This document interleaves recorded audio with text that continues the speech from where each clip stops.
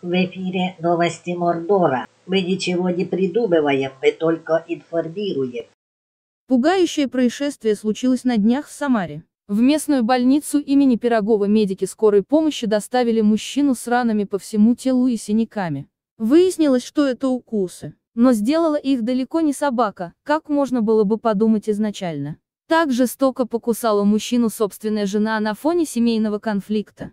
Раны были настолько глубокими и серьезными, что мужчину пришлось госпитализировать в медицинское учреждение и назначить ему серьезное лечение. Из-за чего произошел семейный скандал, не сообщается. И тебя вылечат. И тебя тоже вылечат. И меня вылечат.